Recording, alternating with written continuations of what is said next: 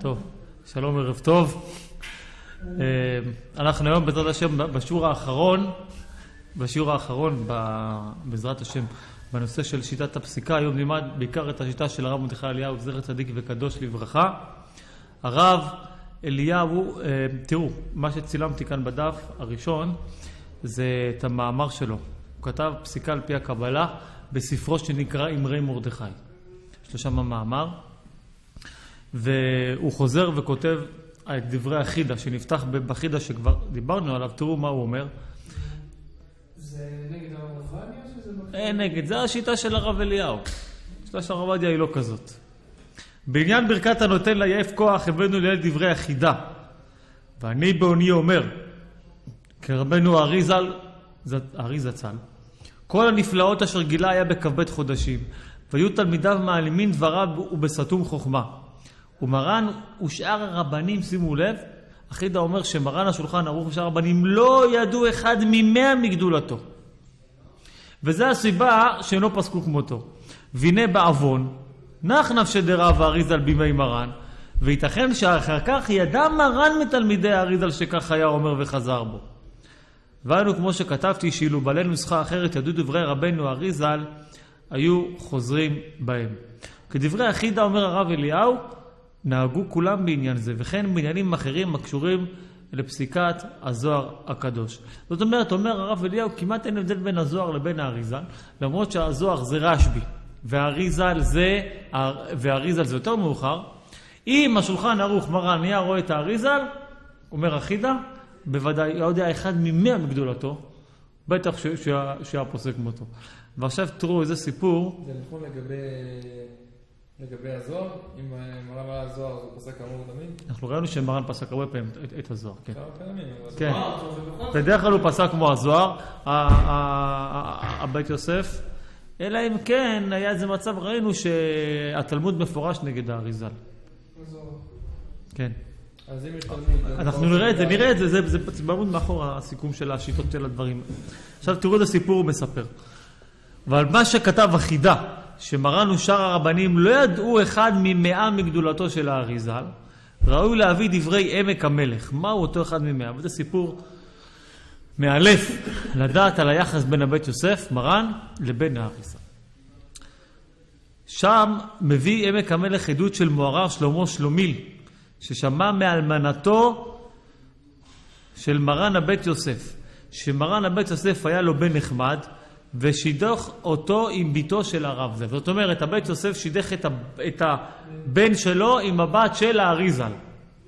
והלך מרן הבית יוסף עם בנו לסעודת אירוסין בביתו של הרב ז"ל. כיוון שחזר מרן הבית יוסף לביתו, אמר לאשתו, מה אומר לך ומה אספר לך מהרזים וטעמי התורה והמצוות? כמה ידיעה הרווחתי עתה בזאת הסעודה מהפה הקדוש של מוהר"ר יצחק אשכנזי ז"ל. אי אפשר לו לאדם בשר ודם להשיג בשכלו מה שיודע הוא. ואך הוא כוח ביד שום מלאך לידע מה שיודע הוא. אין זה כי אם נשמה אחת מהנביאים הראשונים, שאפילו תנא אחד לא היה יכול לומר מה שאמרו. אבל אני מפחד עליו מאוד בעוונות הדור הגרוע הזה, שאינם יכולים לסבול רוב קדושתו, שיוקח ויאבד מהם בקיצור ימים ושנים. ובאמת, לצערנו הרב, אנחנו רואים שזה, שזה מה שקרה. אבל אנחנו מר, מרוויחים מכאן דבר גדול, שהבית יוסף לא ידע מי זה האריזל, עד הפעם הזאת הוא, ידע, הוא, הוא ראה מי זה שני שבועים. כן, ומתוך זה הוא ראה, רואים פה בקיצור שהבית יוסף השתומם מהאריזל, ואמר שהוא איש אלוקים. אז זה מחזק את דברי החידה ודברי הרב אליהו, שאומרים שאם היו יודעים, אם בית יוסף היה יודע מי זה אריזל, שהוא כתב את השולחן ערוך, בטח שהוא היה מתבטל אליו. כי מהסיפור פה נראה שמרן הבית יוסף התבטל לאריזל, שהוא ראה מי הוא. נכון? אבל מצד שני זה גם מראה שהוא ידע, ידע מי זה הארי ולא חזר בו עדיין. בקיצור יפה, אי אפשר להוכיח מכאן שהוא חזר בו. אבל מה כן רואים מכאן שהוא התבטל אליו? מבחינה מסוימת הוא אמר, זה אחד מנשמות הנביאים הראשונים. עכשיו, יש לנו תשובה, אה, תכף נחזור לדף הזה, יש לנו תשובה באבקת רוכל. אבקת רוכל, תשובה קל"ו, של ה... אבקת רוכל זה שו"ת של מי? מרן. מרן הבית יוסף. ויש שם תשובה שהוא כתב לאריזל.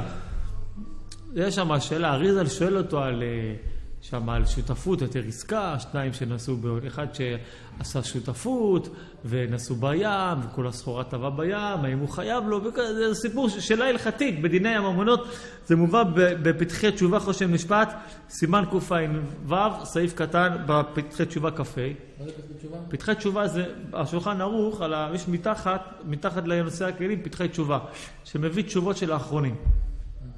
אז הוא מביא את התשובה הזאת של אבקת רוכל. והוא כותב שמה, שאלה למהר"ר יצחק אשכנזי, המקובל האלוקי, אין לכם את זה, אני קורא לכם מהספר. המקובל האלוקי, זכר צדיק וקדוש לברכה, מתוך שדבריך ערבים עליי, אמרתי לישא וליתן בי בדבריך. אז רואים פה שהוא פנה אליו בתואר המקובל, האלוקי, כבר אה, אז. זאת אומרת, רואים שהיה משא ומתן ביניהם. הם, אה, הוא התייחס אליו בכבוד, יש כאלה אומרים שזה לא יכול להיות שזו תשובה של ה... שהוא כתב לאריזה, לאריזה היה מתייחס עוד יותר בכבוד. בסדר, לא משנה, זה גם, אה, זה גם, אה, זה גם בכבוד.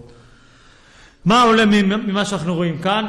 הבית יוסף ואריזל היו מחותנים, היה ביניהם משא ומתן בהלכה, אריזל נפטר בקיצור ימים ושנים, מרן הבית יוסף האריך ימים, והוא חיבב את האריזל מאוד, וישנם דברים שכתב ופסק הארי שלא כדעת השולחן ערוך, ויכול להיות שרבי יוסף קארו לא ראה אותם, זה פה הוויכוח בעצם.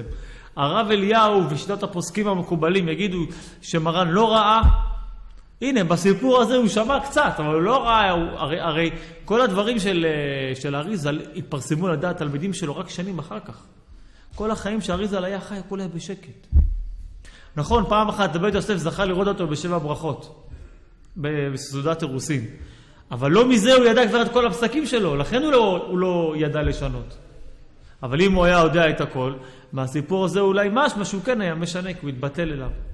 ככה לכאורה השיטה של הרב אליהו ואחידה וכל הפוסקים הספרדים, והרב עובדיה בא ואומר, מי אמר? כמו שראינו בהביע עומר, הוא אומר, מי אמר שהוא היה רואה, היה משנה? אולי הבית יוסף היה אומר, מדהים האריזל, נשמה של התנאים, אבל, של הנביאים, אבל לא בשמיים היא. אולי הבית יוסף היה אומר ככה. אי אפשר לדעת.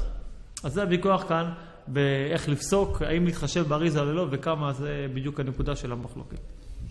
עכשיו אני רוצה לחלק לכם, לפני שנמשיך בדף הזה, עוד דף חשוב מאוד.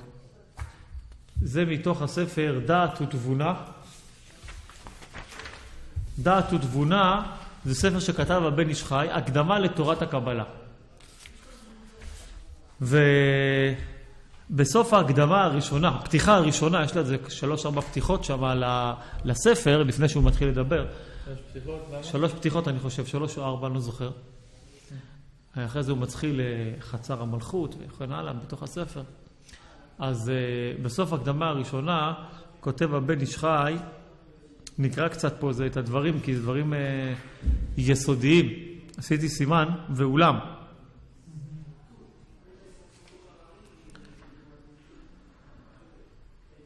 הוא קודם כל אומר שהקבלה עברה אצל הראשונים, ואז זו הייתה תקופה שהיא, שהיא נפסקה. כאילו זה ממש, זה כבר נהיה ממש יחידים בעם ישראל למדו את הדברים מתי? האלה. אה, הוא מתחיל פה למעלה, בראש הפסקה, ואומר שבעצם, אם אני מבין נכון, בתקופתם של הראשונים, היה את הרשב"י, ואז הזוהר נעלם, ש... כן? ואז אחר כך זה עבר, ככה לאט לאט עבר על האריזה אומר של הרמב"ן בן נון, היה לו את הקבלה האמיתית, וזה עבר ככה מאחד לאחד, עד שהאריזל פתאום פרץ את הדרך. הרמב"ן מכניס דברים. מה הוא? כן, מכניס לפעמים. הר- הרמב"ן בסוף ימיו ראה את הקבלה. כאילו, למד קבלה בסוף ימיו. אה, הוא לא ממעבירי הקבלה שהוא למד את זה מרב? כן, כן, הוא, הוא, כן, אבל רק לקראת סוף ימיו, לא שהוא היה צעיר, צעיר, הוא לא קיבל את הקבלה, הוא לא קיבל את זה עדיין. היי, אז אומר כאן ככה, תראו, ואולם לימים ראשונים נסתם כל חזון והחוכמה העמוקה, חוכמת האמת, ונסתרה היא, ונסתרה, והיא, מה זה? לא יודע. וראשי הדורות, יעד אי רבנן איזה שורשים בכללות. וכבר אמרו בזוהר, דחיי רשב"י לא נשאר כי אם מלוא העומר מן למשמרת. דאגם שלא פסקה מישראל חוכמה זו, כאשר העריך הרב אבישולם ישר מקנדיה בספר מצרף לחוכמה, אשר אליו אשר הביא ספרי הגאונים, אשר חירבו בחוכמת האמת. מכל מקום הכל היה למשמרת להצנעה בכללי כללות, ולפי הדור ולפי מצב העולמות מת החורבן. זאת, זאת אומרת, היה, אבל רק דברים כלליים מאוד. אתם יודעים מה קרה לדברים כלליים מאוד? בזוהר מוזכר שש עשר ספירות. יש ספרים שלמים במקובלים הראשונים שמגלים סוד, יש עשר ספירות. היום זה בדיחה, מה זה עשר ספירות? זה ברור שיש עשר ספירות. יש עוד פירוט על פירוט על פירוט בתוך המערכת הזאת של עשר ספירות, מה זה אומר. אבל אז היה סוד, יש עשר ספירות. זה, עכשיו, עד שלא אמרו את זה, גם את זה לא ידעו. והדברים האלה באופן כללי עברו דברים מאוד כלליים. אבל בפרטות לא היה. עד האריזה, תכף נראה. כמו שזה היה לפי הדור ולפי מצב העולמות מת החורבן, וכיוצא נתגלה לרבנו יהודה חסיד דרכי התשובה ונשאר בקבלת רבו מרבו.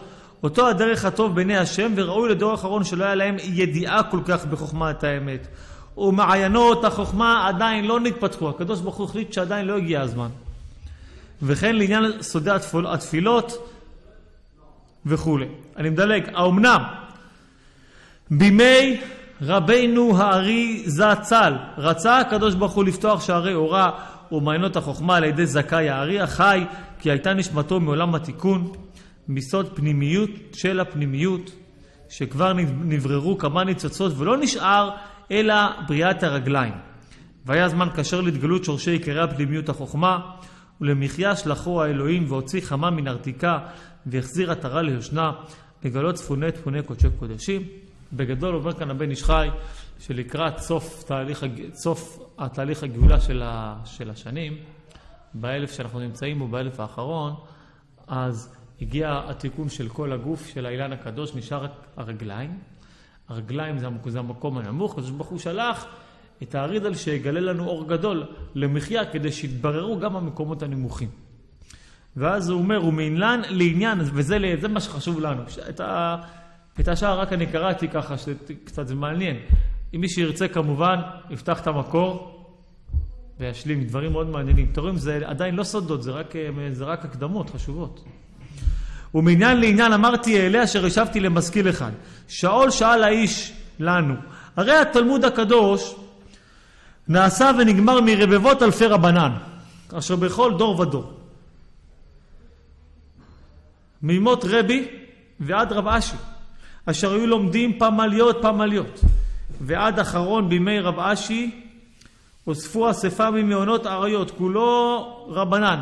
כמה רבנים, תלמידי חכמים, למדו את הש"ס מזמן רבי, מאות כמה מאות שנים, עד זמן רב אשי? עשרות, איזה מאות? עשרות אלפים. למדו את זה. עשרות אלפים של חכמים למדו את זה הוא אומר, רבבות אלפי רבנן בכל דור ודור ממות רבי רבשי, נכון? לומדים בחבורות, לומדים, לומדים. ויהי ביום כלות, כלה דאדר וכלה דאלול, היו לומדים מסכת אחת בכל כלה, נכון? מה שנקרא ירחי כלה בזמן הגמרא. בבין הזמנים היו לומדים כל פעם מסכת אחת, כולם. ובאספה גדולה וזמן קהילי, וכבודו עליהם יראה בעמוד אש, כאשר קיבל רבן יהודה בר ברזילי, שיהיה עמוד אש יורד מן השמיים בקלה דאדר ובקלה דאלול. זאת אומרת, בזמן אדר, אחרי אדר, עד פסח היה בין הזמנים, וגם בזמן אלול, כאילו בין הזמנים של הקיץ, היה תמיד לקראת סופי שנה, אדר זה סוף החצי שנה הראשון, אלול זה סוף, זה סוף החצי שנה, היו, היה להם אה, מנהג שכולם היו לומדים. כל ה... כאילו, מה זה דף יומי? כל הבעלי בתים היו באים, עוזבים את העבודה, לומדים תורה, כל הבתי כנסיות מלאים, חודש שלם, כאילו, פעם בחצי בחצי שנה חודש שלם, לוקחים מסכת ולומדים אותה ממש ממש ממש חזק, אין זמן לכלום. מסופר שהאמוראים שהיו מלמדים, לא היו יכולים, לא היה להם זמן לעשות שניים מקרא ואחד תרגום. מרוב שהם היו עסוקים בחודשים האלה. מה הם לומדים משנה? כאילו? הוא אומר לך, לא, מסכתות, גמרא. התנאים, המוראים הם לומדים משנה? משנה וגמרא, הכוונה כל מה שהם למדו. עזוב, זה נכתב בזמן רב אשי, אבל כל הזמן למדו. אז הוא אומר שהיה עמוד של אש יורד מהשמיים שם. ואנו דקאמרינן סוף פרק היה קורא. אמר רב אשי בני מטה מחסיה אבירי לב נינו, כן, בני העיר של מחסיה הם אבירי לב, למה? דככה זו יקרא דאורייתא ולא מגיע גיורא מיני. הם הם ראו את כבוד התורה ולא התגייר גר מהם. וכמו שכתוב התוספות, זאת אומרת, הם ראו, הגויים שם ראו עמוד האש ולא התגיירו. לב? טוב, כנראה זה, זה שלילה. ואז היה נכתב התלמוד על יד על יד. מה זה על יד על יד? זה לאט לאט, קצת קצת. בהסכמת כל האמוראים, אלפי רב, רבבה. ולכן חייבים כל ישראל לשמוע ולשמור כל הכתוב בתלמוד, במצוות השם אלוקינו על פי התורה אשר ירוך. זאת אומרת, הוא אומר, אני מבין למה אנחנו מחויבים לתלמוד, כי למדו אותו אלפי תלמידי חכמים, עשרות אלפים במשך שנים, ולאט לאט הוא נכתב עוד קצת ועוד קצת, עד שבזמן, וכל פעם זה נכתב בהסכמה. זה עבר ביקורת של גדולי ישראל המון שנים. אז מובן למה אנחנו מחויבים לגמרא. אבל לעומת זאת, אם כן, איפה זוהי שקשה, שראינו כמה חומרות ועונשים בספר הזוהר, בדינים מדינים שונים אשר לא נראו בתלמוד הקדוש. הוא אומר, איך זה יכול להיות שיש דברים בזוהר שלא כתוב בתלמוד? דבר שנעלם מעיני כל הדורות האלה? וגם בדינים הנזכרים בש"ס, לא נכתבו כל העונשים הקשים שיש בזוהר הקדוש. נכון? נגיד בשר וחלב, בסדר, זה כתוב בגמרא, אבל לא כתוב מה שראינו שכתוב בזוהר. שמישהו אוכל בשר וחלב, זה, יש לו בשמיים כל מיני דברים, תקופה. לא, לא, לא כתוב בגמרא את הדברים האלה. אז הוא אומר, איך זה יכול להיות? משמע שרשב"י הרבה פעמים כן מוזכר. רשב"י כן, אבל מה שכתוב בזוהר לא מוזכר. אז הוא שואל. טוב, אז הוא, תראו את התשובה שהוא נותן. ולפי שעה זאת אשיב. הלא מראש הנה זאת חקרנוע ראשונים שאלו. יש שאלה אחרת. אמה היא לא עתה משיחה בימי חסידים הראשונים, ובימי רשב"י, וכל קדושים עמו, אשר הוא דבקים בו יתברך, והיו נשמות עליונות. ובעוסקם בתורה הייתה אש מלהטת סביבם, ומלאכי השרת מוקפים חומה. וליהו זכו לטוב והיה מתרחש להוא כאשר ידבר איש אל רעהו. וכביכול גוזר גזרה, והנה ביטול לביטלוה. דאב הוא מתקפה ברחמי. נכון? הם, הם לא הצליחו. שהיו לומדים תורה היה אש בכל, ה, בכל העולם, אליהו הנביא היה מתגלה אליהם כמו חבר שלהם, ואם היו גזרה הם היו מתפללים רגע וזה היה מתבטל. אז איך הם, עם התפילות שלהם, אם הם לא הצליחו להביא את המשיח? נכון? הוא אומר שהם היו מבטלים את, את הגזרה על ידי רחמי ונערות המושכים, אל תתבשם עלמא וחדל להיות לצרה, העולם היה מת, מת, מתבשם מרוב תפילות שלהם ותיקונים. ומדוע בושש לא בא בן ישי? הלא דוד מסתתר באותם הימים. אז זו שאלה ראשונה. למה? המשיח לא בא אז. נכון, שאלה טובה, מה, רשב"י לא יכול להביא את המשיח? האריזה לא יכול להביא את המשיח. אנחנו נביא את המשיח. מה זה לא דוד מסתתר ימים? איפה? המשיח הסתתר, הוא לא התגלה. כן, הוא לא התגלה. הרב, האמת שבדיוק לפני שעה בערך קראתי בערב בנים שמחה גם, שהוא מביא שם בשם הארי, שהוא אומר שם כאילו יש אה, דור יותר אה, חוטא ויותר קליפות ויצר הרבה יותר שולל. והוא העיד על ה- שהארי בעצמו אמר שאם הוא היה חי בדורות התנאים, אז הוא מגיע להשגות הרבה יותר גבוהות. ומה אנחנו נגיד? אז זה מה שאני אומר, שהוא אומר שככל שהעולם מתקדם, אז יצר הרע עובר מהקליפות וכל הסיטרא והרבה יותר... כן, זה נכון, תכף- הוא הוא אומר, הוא את זה. אבל זה לא עונה עד הסוף, אבל תכף הוא אומר את זה. לא, גם מציאותית. היום כאילו הם יכולים להגיד יש טלפונים ופייסבוק ופריצות ברחוב הזה, כאילו להגיד בזמן התנאים, איזה יצר הרע האלה? אין מה לעשות, כל היום יושבים זה. נכון, זה, מה שאמרתי לך, שאנחנו, זה, זה מה שהוא רמז, אנחנו ברגליים. הנשמות שלנו באו מה, מהמקומות, נשאר לבחינות של מקומות נמוכים לתקן רגליים. לא נשמות קדושות שמסוגלות להיות, ללמוד תורה מתוך דבקות, כתוב על יונתן בן עוזיאל שהיה לומד תורה, עוף שהיה עובר מעל הראש שלו נשרף. אתה שומע דבר כזה. אתה אומר, כאילו, מה, מה זה שייך אלינו? אנחנו נשמות שנמוכות. מושך אותנו הפייסבוק, מושך אותנו כל המראים בישין, כל, ה... כל הדברים האלה מושכים, מושכים אותנו את הדעת שלנו. קשה לנו ל... ל... לעשות קדושה באמת. אתה מבין?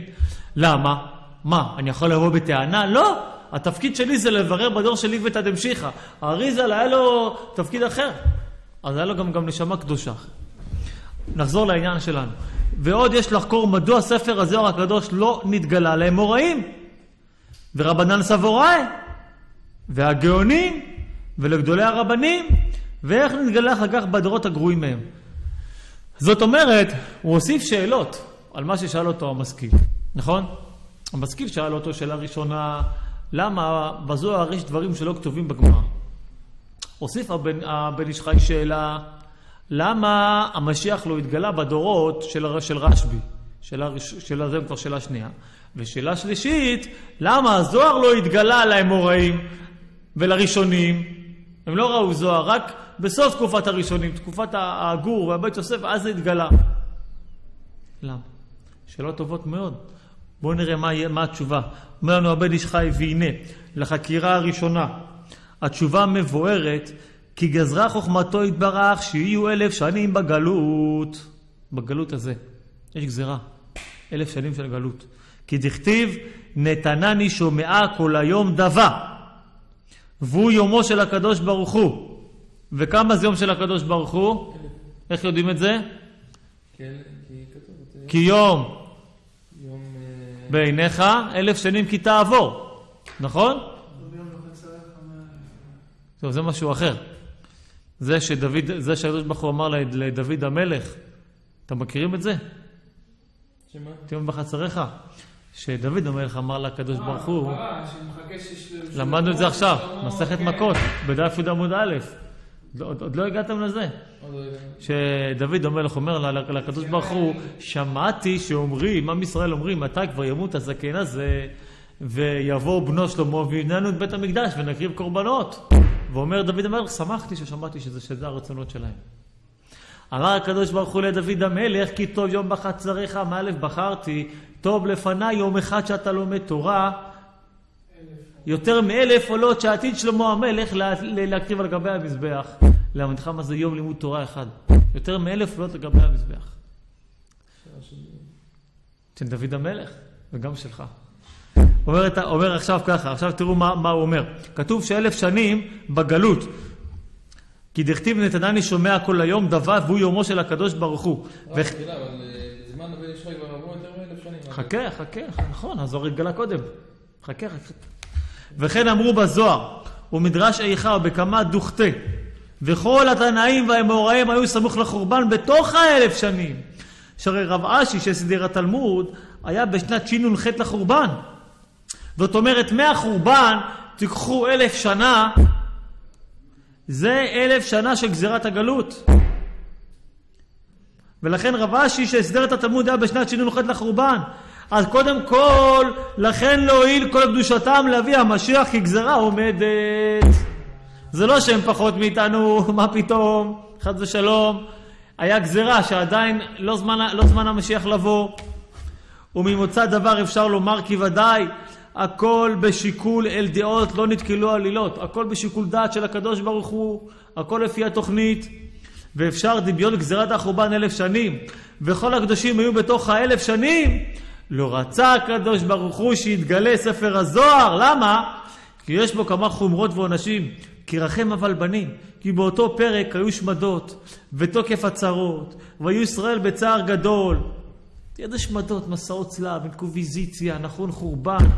אתם פותחים את מסכת גיטין שם באגדות החורבן, כמה יהודים נהרגו, כמה, איזה סבל לא יתואר הם, הם עברו, נכון? ובתקופות הראשונים, שהיה את uh, גזירות תת ותח, ומה, מה, איזה סבל ושמדות. אז מה, אז שייך שנגלה ספר הזוהר ל- ל- ל- להחמיר עליהם בעוד עונשים? לא, הקדוש ברוך הוא כרחם אבל בנים, הסתיר את הזוהר. והיו ישראל בצער גדול, ואם יהיו מתגלים דברי, דבר, דברי הקדושים של רשב"י וחבריו וכל העונשים, היה מקום להסית רעה אחרא לקטרג יותר על ישראל, לראות ביעקב רע אחר רעה. לכן ספר הזוהר לא התגלה. אבל, אחר שעברו אלף שנים מהחורבן, שנשלמו שנת ד' אלפים תכ"ח, זאת אומרת, ארבעת אלפים שמונה מאות עשרים ושמונה, אז היה יכול לבוא משיח, הגיע הזמן של תקופת המשיח. ובעוונותינו הרבים השתהו ישתאה, המשיח שהה, שוהה, וזה חטא נוסף לכלל ולפרט, על כל החטאים וחילול שמו, חס ושלום וחילול תורתו, ונתגברה הקליפה מאוד להחטיא. יען, כי כבר נתברר הרבה. למה הקליפה מתגברת להחטיא אותנו עכשיו? זה מה שאורל אמר מקודם.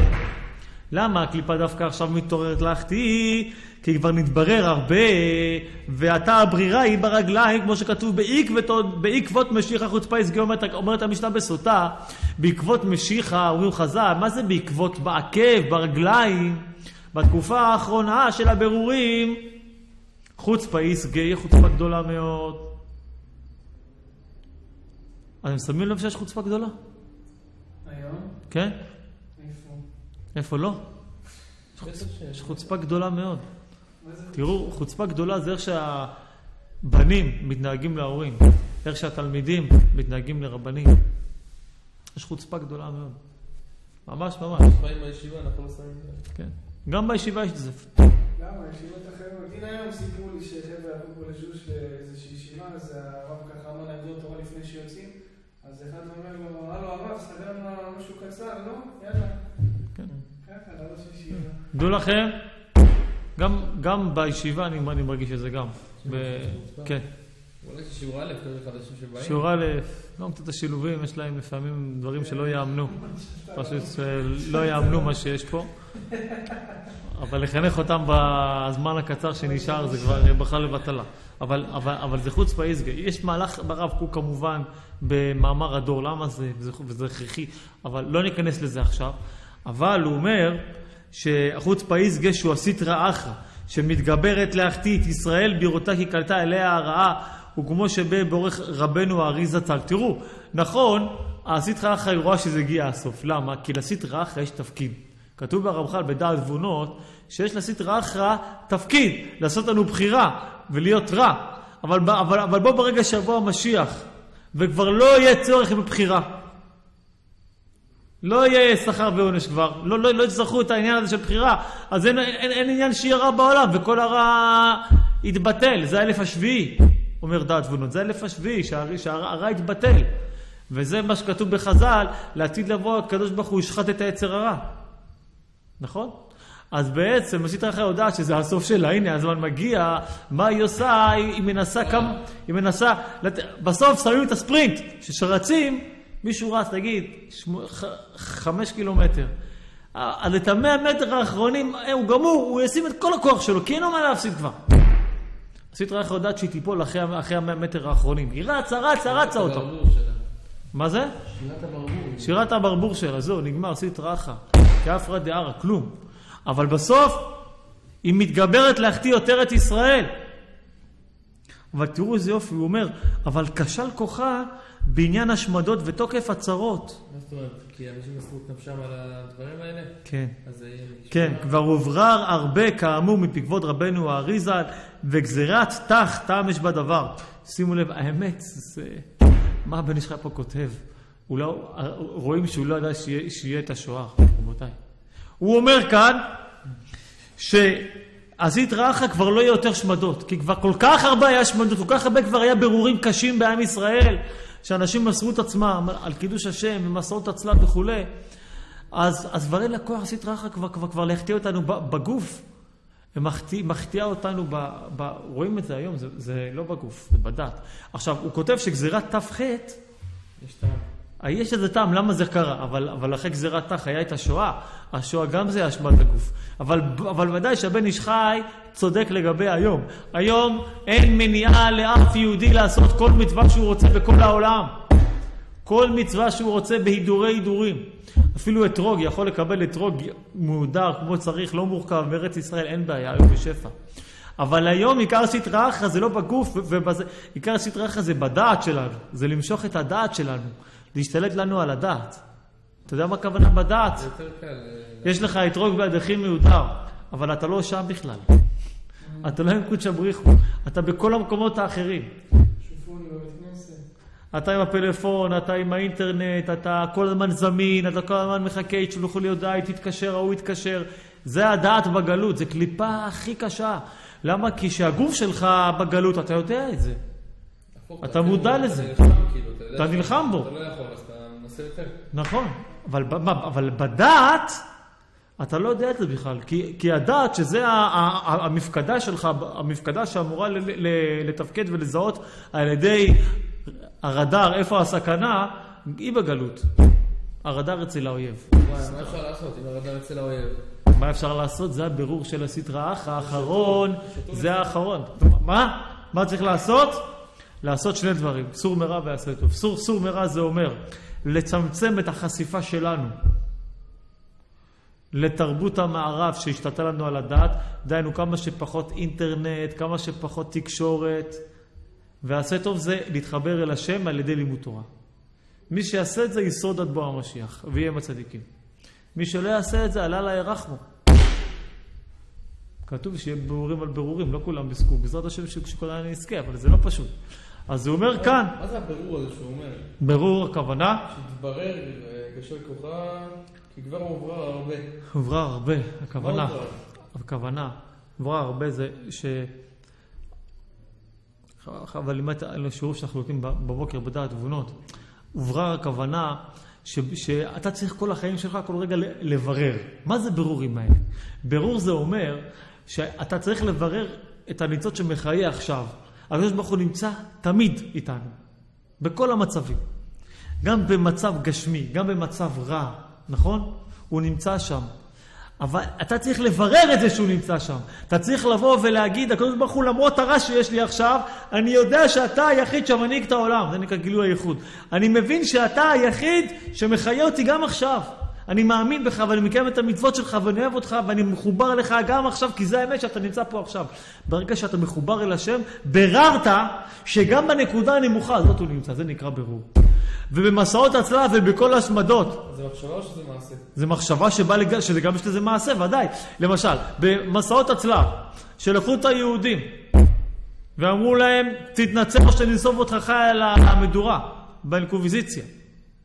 והאוטודפה וכל הדברים הרשעים שהם היו עושים. אספר לכם פעם איזה סיפור על זה. אז, זה ברור. זה ברור. יהודי מסר את הנר נשרף חי באש, זה ברור. הראשונים, תקופת הראשונים, וואי, איזה סבל היה להם. אתה קורא את זה, אתה, אתה לא מבין. כל ה... כל ה... אה, אה, ראשי תיבות שפרה, אה, אה, ור, ורמייזה ומגנצה, וואו, וואו, וואו. ערים שלמות שמסרו את הנפש שלהם, לא נשאר אחד כמעט משם. ניצולים ברחו. מסרו את הנפש, בדם קר. על... זה נקרא ברורים, בררו אפילו בכזה מקום קשה. עשית רעך כבר די, כבר, כבר ביררנו שם. תעזבי אותנו, מי זה אומר הבן איש חי, נגמר. גזרות תח, אבל בשואה מה היה לנו? השם ישמור, בשואה, השואה זה היה המכה האחרונה בעצם. לא יכול להיות שאותו דבר. אנחנו רואים שהעולם השתנה. העולם השתנה כבר, העולם השתנה לגמרי.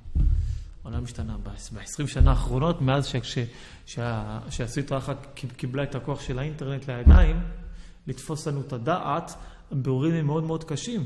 זה לא שהאינטרנט הוא דבר שלילי במהותו. האינטרנט זה, זה חוכמה אלוקית שירדה לעולם. אין ספק. אבל כרגע מי שמחזיקה בה ומשתמשת בה זה קודם הקליפה. בעזרת השם יהיה, יהיה הפרי, אבל תמיד יש קליפה. אחרי שהקליפה נופלת יש את הפרי. אבל בשלב הראשון הקליפה שולטת באינטרנט. ולכן צריך מאוד מאוד לשים לב, לשים לב, להיות מחובר אל השם. זה שיש לנו את הפלאפון כל הזמן ב, ביד, או אני לומד תורה, אבל הפלאפון פה בעצם, או, או בתפילה הטלפון רוטט, מה זה אומר? זה אומר, כן, זה, אני, גם אני בעוונותיי, אני צריך לעשות תשובה על זה, זה אומר שאיפשהו אני לא עם הקדוש ברוך הוא עכשיו.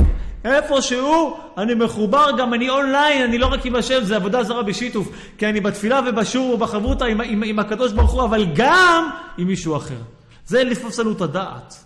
האמת היא צריכה להיות לכבות את, הטל, את הטלפון ולשים אותו בחדר.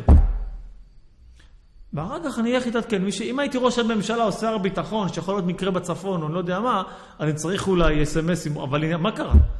הרי מה היה פעם? היינו בזה הסתדרנו. אני אומר לכם, זה, זה, זה עניין של, של הרגלים. מילא אדם נשוי, יש לו את התירוצים, אשתו צריכה להתקשר, לא יודע מה העניינים וזה. אבל תראו, גם ש... למשל כשעשיתי בחינה בדיינות, אז לוקחים את כל הפלאפונים. אז נכון, אמרתי לו, תשמע, אשתי צריכה כל רגע ל- ללדת. טוב, תשים את הפלאפון פה, אם אני אראה שזה, אני, אני אגיד לך, וכן היה, ולא דאגתי. מה קרה? אם יצטרכו אותי, יגידו לי. הבעיה שהיום לכל אחד יש טלפון שבו משחקים. כן, אני אומר, המשחקים מושכים אותך, אתה כבר יושב... ב- יש היום הודעות. אתה יושב בהודעות, ועוד יותר גרוע מזה, באמצע השיעור יושבים, בעוונותינו הרבים, עם הפלאפון, ומסתכלים על הרב, ותוך כדי זה עם היד. זה בושה וחרפה. זה בושה וחרפה, המצב שהגענו, וזה לא פה, זה בכל המקומות ובכל הישיבות, זה הבעיה.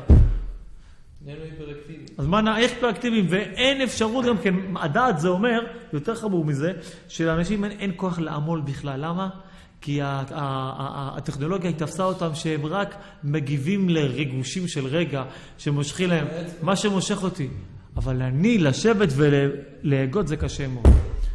טוב, אנחנו גל, גלשנו קצת, רק להסתכל טיפה, המון להעריך בכל מה שאמרנו עכשיו, אבל יש, ויש הרבה מה להגיד, אבל, אבל רק אנחנו התמקדנו קצת על, ה, על הריזל פה, שאומר, אה, ולכן, וזו הנקודה האחרונה, סמוך לדורות שאחר אלף שנה מהחורבן, נתגלה אור הזוהר להגן על ישראל, ושאם נזכה להתעסק בסתרי תורה כדעת מה לעשות, בזכות זה תפרה יש ישועת ישראל עד כאן לשונו. עד כאן לשונו. של מי? אני לא יודע של מי. אה, של האריזל. מה הכוונה? מה, מה האריזל בעצם אומר לנו? שימו לב. אתם יודעים למה אנחנו צריכים ללכת לפי הזוהר? כיוון שזה לאזן את, את הכוח של הסיטרא אחרא. הסיטרא אחרא מתגברת להחטיא אותנו בתקופה הזאת מאוד כמו שדיברנו. מה התרופה? מה יאזן אותה? אם אני אלך כמו אריזל ואתנהג לפי החומרות שלו, אז אני מאזן לצד, לצד הקדושה. לא שבאמת מעיקר הדין אני חייב, מעיקר הדין באמת ראוי לפסוק כמו התלמוד. מה, ללמוד או שלעשות כמו זוהר? סוד, סוד, פסיקה. לפסוק. להתעסק בסתרי תורה כדעת מה לעשות. מה לעשות, אתה שומע? עשייה, איך לפעול. יש שם אנשים שאומרים לך, טוב לקרוא או לגרוס. זה עוד עניין אחר, זה, פועל על הנשמה שלך. זה פועל על הנשמה. כן, זה פועל על הנשמה. זה לא קשור לעניין עכשיו. אני אומר עכשיו, אני אומר פה, הוא אומר דבר אחר. שכדי לאזן את הכוח של הסיטרא אחרא, אנחנו צריכים לעשות דברים מעבר לדין הרגיל של, של, של התלמוד. צריכים לעסוק בסתרי תורה וללמוד את הטעמים הפנימיים, כדי שנוכל לפעול ולאזן קדושה מול, מול הטומאה של, של הסיטרא אחרא. אה, אז עכשיו תשאלו את עצמכם, רגע, אז מה, ניקח את כל מה שכתוב באריזל ונפעל כדי להילחם בסיטרא אחרא? אז בואו נחזור לדף שלנו, של לדף הראשון. כן. אפשר לראות את מה שאמרנו על הסיטרא גם בגוש קטיף לדוגמה, שהיום אנחנו לא מבינים את זה, אבל לעתיד לבוא בגלל האיזון וההתגברות, אז נדע את התוצאה. מה, נדע למה זה קרה? כן. זה כן, זה בטח, כן. עתיד לבוא, נדע איך הכל היה הכרח- הכרחי בשלבי הגאולה לגילוי הייחוד שלו, איך זה היה הכרחי. אנחנו עכשיו לא יודעים. אז אפשר להגיד שהסיטרא מאוד גבוה שם. נכון? מה לעשות? איפה האיזון עכשיו בצד החיובי? יש איזון, אנחנו צריכים לאזן את זה. יש אה, לימוד תורה, יש קדושה, יש חזרה בתשובה, ברוך השם יש איזון. אבל, אבל, אבל, רק? מה? זה אומר שעכשיו אנחנו בדור של... בטח, המשיח צריך לבוא מחר. מה קרה לכם? זה כל רגע. כן, אז הוא- לא... לא, זה לא יכול להיות. רואים שזה סיום. טוב, בואו נראה, בואו נראה פשוט הזמן קצת קצר. אז אנחנו שואלים את עצמנו, אבל מי... אה, אה, רגע, אה, צריך לדלג פה קצת. בואו בוא נדלג, נחזור לזה אחר כך. אה, בדורנו הדור האחרון. אה, לא, סליחה, בואו כן נלך לפי, לפי הסדר. אני קורא עכשיו מהלשון של הרב אליהו. יסוד נוסף המופיע במקומות רבים בזוהר ובספרי התיקונים. בעקבות משיכה תרבה הדעת. וכמו שכתב מערכו בהקדמת עץ חיים בשם הזוהר, הנה זה לשון הזוהר. וחד יהא קרב ליומי משיחיה, אפילו אנא רבי דעלמא זמינין לה- להשכחה רזין תמירין דחוכמתה. מה זה רבי? אני מבין, אפילו רוב העולם, משהו כזה, יהיו זמינים למצוא את הסודות התמירים של החוכמה. ובתיקוני זוהר, דבדרא בתראה, בסוף יומיה זה אנחנו, רבותיי, אנחנו כבר בדור הבתרא, הרגליים. התפרנסונו מהי חיבורה, התפרנסו מספר הזוהר. כלומר שבדור האחרון התגלו סודות הזוהר, והתווסף לימוד הפנימיות אפילו אצל צעירי ישראל. אתם יודעים מה זה צעירי ישראל? זוהר. הכוונה חסידות שמפשיטה את הזוהר. יש ביד כיסלב בבנייני האומה, מוכרים שם ספרים. שנה שעברה היה שם חוויה. אלפי אלפי אנשים יצאו עם עשרות ספרים. הם שלחו עכשיו עוד הפעם, הם עושים את זה עד, עד שלוש בבוקר השנה. שני ימים עד שלוש בבוקר הם מוכרים את הס- את הספרים שלהם. כן? אתם יודעים, מה זה אומר? בואו נסתכל במה זה אומר, שצעירי הצאן, גם אני שהייתי בגיל שלכם לא, לא למדתי חסידות ולא הבנתי מזה, אבל היום נפתחו מענות החוכמה שב, שבגיל שלכם לומדים חסידות. אתם יכולים לשמוע את הפנימיות. בגיל שלי, שאני הייתי, זה היה נראה כאילו אתה מדבר דברים זרים, אבל העולם משתנה, חסידות זה פנימיות? בטח. זה. הכל האריזל, רק זה במילים אחרות. זה מילים פשוטות יותר. כל הזרמים, אם זה טניה ו... הכל, הכל, הכל. הכל בנוי על האריזה. בטח. עכשיו תראו מה כותב החידה. ורק בדורנו אלו, לקראת הגאולה הקרובה, נתגלה אור הזוהר להגן על הדורות. ואם נזכה להתעסק בסתרי תורה כדעת מה לעשות, בזכות זה תפרה יש ישועת ישראל. זה חידה. מאמר זה בא להראות שישנן הלכות שנגעו בהם כזוהר, כלומר שקיימות הלכות שמקורן בזוהר שהשפיעו על פסיקת ההלכה. כמו כן ניתן לזהות מגמה של התחזקות בפסיקה על פי הזוהר וחכמי הקבלה. אז זה מה שאומר אריזל, אתם מבינים, אה, הרב אליהו, אתם מתחילים לתפוס את התפיסה של הרב אליהו הבן איש חי, למה יש עניין לשלב סודות כל הזמן? כן, זה טיפה חריף. זה חריף, אבל... רגע, הרב עובדיה זה משהו אחר.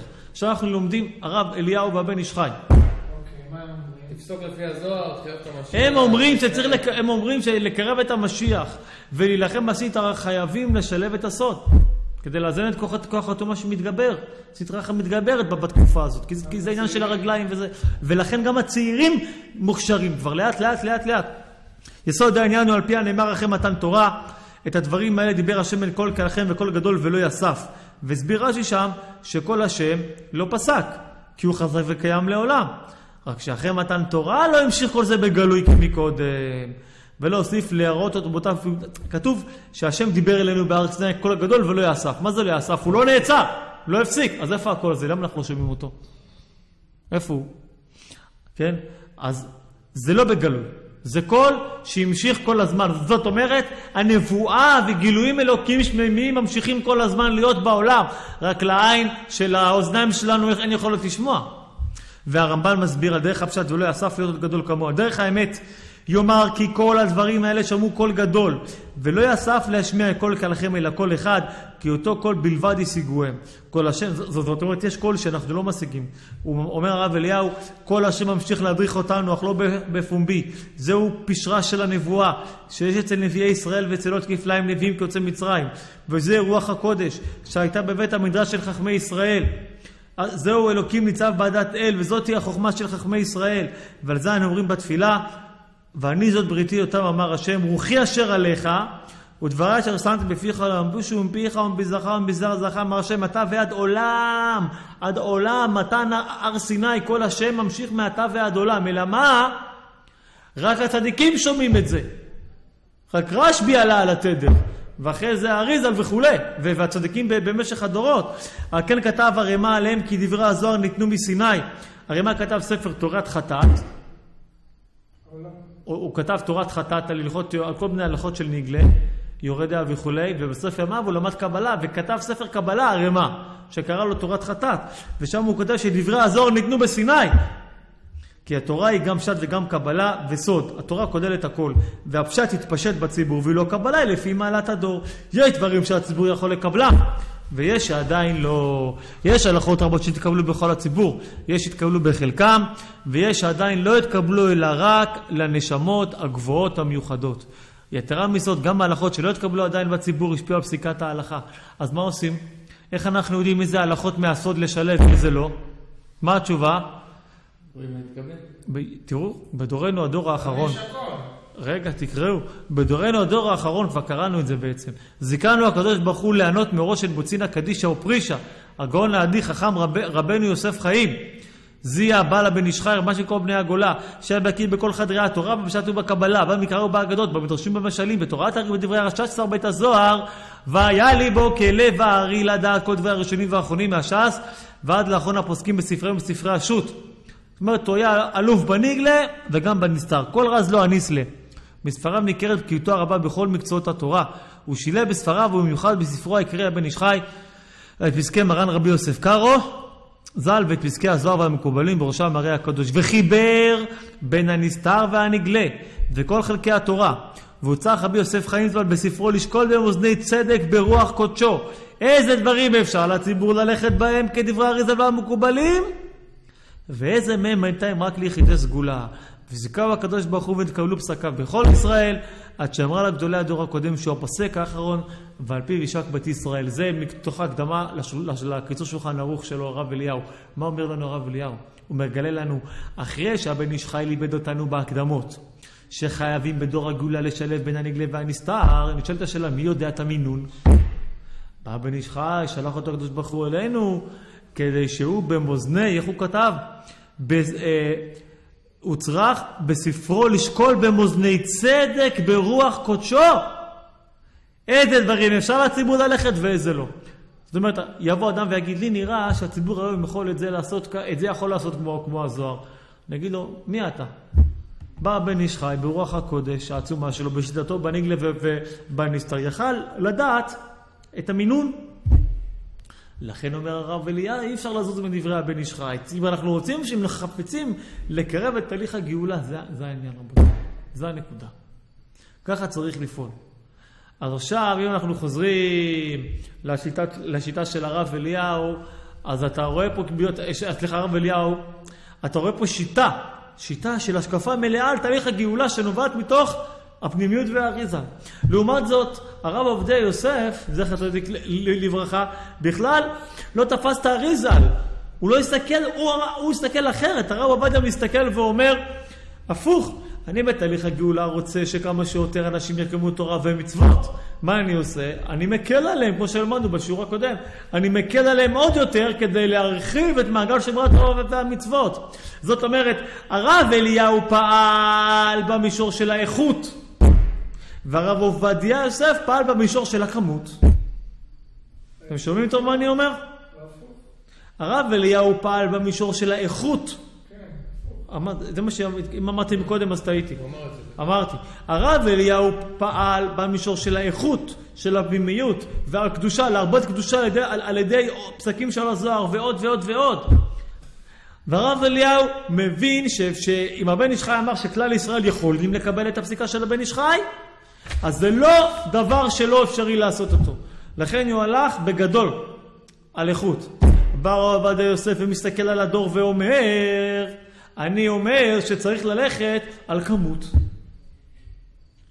ומי צודק? אלו ואלו, אנחנו צריכים ככה להגיד עכשיו, שאלו ואלו דברי אלוקים חיים. דהיינו, הציבור של בני התורה שהם הרבה ברוך השם ובני הישיבות, שיכולים לבוא ולקבל עליהם את הנהגת, את הנהגות הבן איש חי ואת, ואת הפנימיות, צריכים להשתדל לק, לקבל את זה כדי להרבות קדושה כנגד, כנגד הס"א. אבל עם ישראל, עמך בית ישראל, הולכים לפי הפסקים של רב עובדיה. ויכול להיות שאחרי שהם יתחזקו, הם גם יתקדמו הלאה. אבל זה, אלו ואלו דברי אלוקים חיים, ושניהם פועלים להביא את המשיח. בסדר? וכאן, וכאן יש בסוף, אין לנו זמן, אבל כאן בסוף יש סיכום דלה פסיקה של הרב אליהו מתוך המאמר הזה, וזה מה ששאלת מקודם, אז הוא מביא פה את כל הכללים, זוהר, אריזל וכל זה, שיש גמרא, בסדר? ובעזרת השם, אחרי שעכשיו ממש במשפטים האחרונים, הראינו, הראינו את העומק של השיטות פסיקה שלהם, את ההשקפה, זה נקרא השקפה של שיטת פסיקה. אז כל השאר זה כבר פרטים.